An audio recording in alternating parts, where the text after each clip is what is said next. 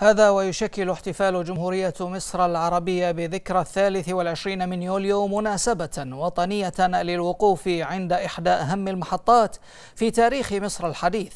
حيث شكلت علامة فارقة وبداية عهد جديد للدولة المصرية الحديثة